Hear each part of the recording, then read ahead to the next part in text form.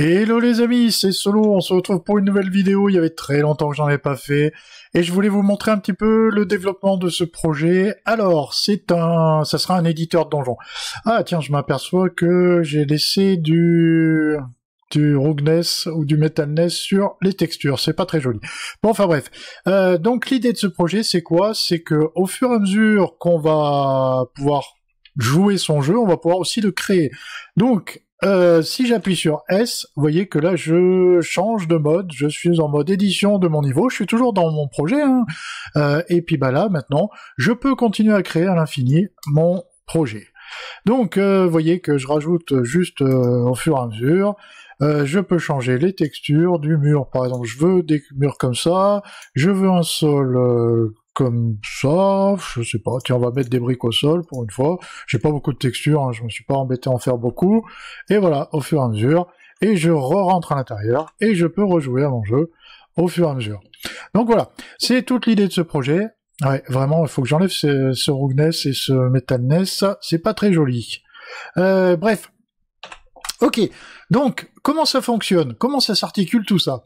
Ben en fait, au départ, l'idée, c'est d'avoir une data grid qui va me servir de, de, pas de data grid, de grid map qui va me servir de data en fait.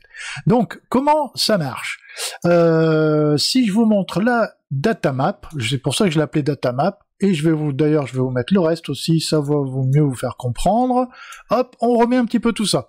Donc, ce que vous voyez en, en rond, les ronds en fait, ce sont des, des, des sphères qui se génèrent par un grid map. Ce grid map, c'est tout simplement, il y a le point de départ et le point final quand, quand je sélectionne. Quand je tiens cliquer, je relâche, clac, il, il, va conserver les informations, ce qui va faire une première grid map. Cette grid map, à chaque fois que vous voyez que, que se clear, et à chaque fois, bah, je, je continue à, recréer. Mais si je fais entrer, là, ça génère vraiment dans une deuxième grid map. Là, ce qu'on appelle des, des triangles, les cônes. Ces cônes-là, ce sont des datas. C'est-à-dire qu'à chaque fois qu'il y a un cône qui a une information, est-ce qu'il y a euh, est-ce qu'il y a est-ce qu'il y a quelque chose? Oui, dans ce cas-là, il va falloir générer un bloc. Et à chaque fois que ce, que, j'ai un truc comme ça, bah, il va y avoir un bloc qui va se générer. C'est-à-dire que là, paf, ça génère un bloc. Le bloc, lui, qu'est-ce qu'il va faire? Le bloc, c'est c'est un bloc en fait, c'est un bloc assez complexe qui lui est composé de euh, de six faces c'est vraiment six images dissociées. Et à chaque fois qu'il se pose, bah déjà, il vérifie par rapport à l'information des data, en fait. Il va dire, est-ce que, euh, où est-ce que le nord? Le nord, il est là-bas.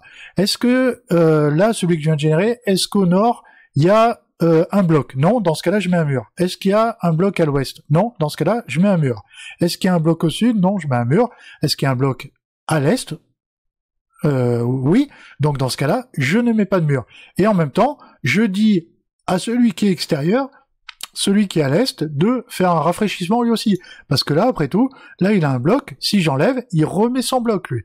Et ainsi de suite. Vous voyez que chaque fois, il y a cette information-là qui se, qui se passe.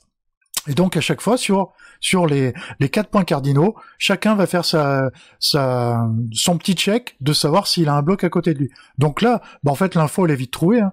Euh, on sait où est positionné sur la grid map tel point. On regarde juste le le y plus 1 ou le y moins 1 ou le, le pas le y le z ou le x ou le z de de chacun.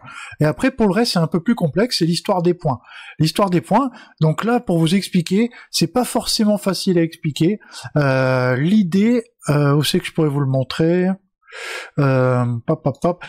Là, j'ai ce qu'on appelle le fake block. Ça, c'est un fake block. C'est un, bloc qui me sert en mode référentiel. On va le mettre un peu plus gros. Donc voilà.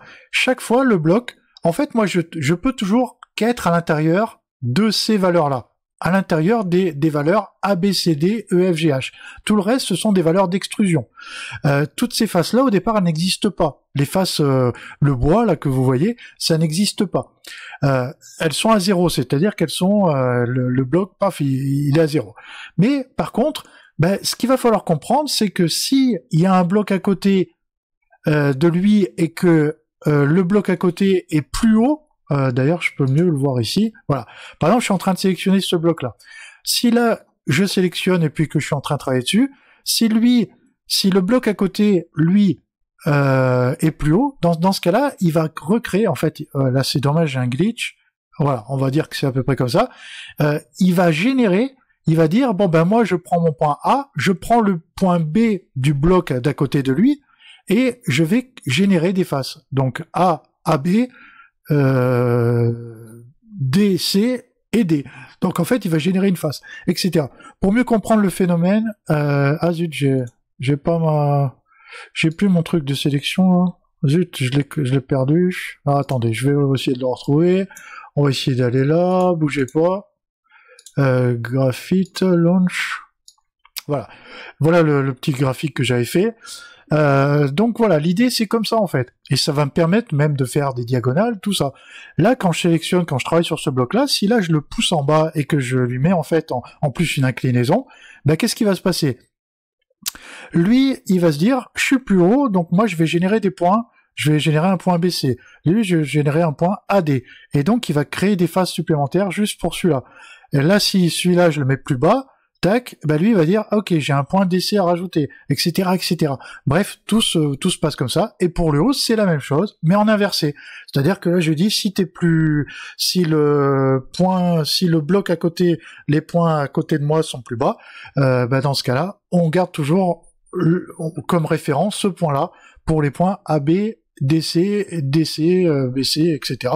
Et euh, du coup, en, en, soi, j'ai à chaque fois 16 blocs de plus en bas et 16 blocs de plus en euh, 8 points de plus en haut et 8 points de plus en bas. Pardon, ça me fait 16 points de tout au total. Donc voilà, au niveau de l'éditeur, ben en fait, chaque fois que je, je, je rajoute, hop, chaque fois que je rajoute une information dans la data dans la grid map, ben tac, il crée ses blocs il les, les module à volonté. Puis après, chaque fois que je sélectionne, euh, lui, il sait qu'il y a un bloc là, qu'il a des valeurs de texture, et en plus, après, je, je peux modifier ces informations-là. Voilà, donc là, il a dû me générer. Euh, donc là, maintenant, je peux effacer un peu tout ce qui sert à rien.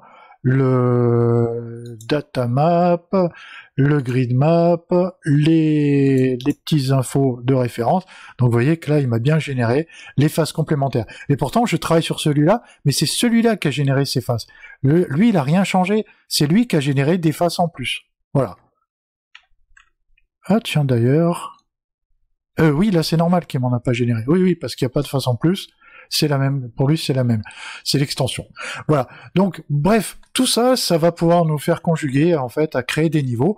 L'idée après, bien sûr, ça sera de pouvoir enregistrer tout ça euh, dans une euh, nouvelle euh, scène créer une nouvelle scène à partir de ça, faire une espèce de duplication de cette scène, mettre un spawner, un genre de spawn, pouvoir rajouter des ennemis, bien sûr. Euh, J'ai pas encore terminé, il y a encore plein de, trucs qui manquent. Euh, là, par exemple, ce qui est, ce qui est embêtant, c'est que même une salle qui est plus basse comme ça, pour la sélectionner, il faut vraiment que je sélectionne. C'est pas toujours facile à comprendre. C'est qu'on va sélectionner à partir du plat, à partir de du, du, vous voyez que là j'ai j'ai pas j'ai pas cliqué là, j'ai cliqué sur c'est pas toujours évident de s'y retrouver un petit peu dans tout ça.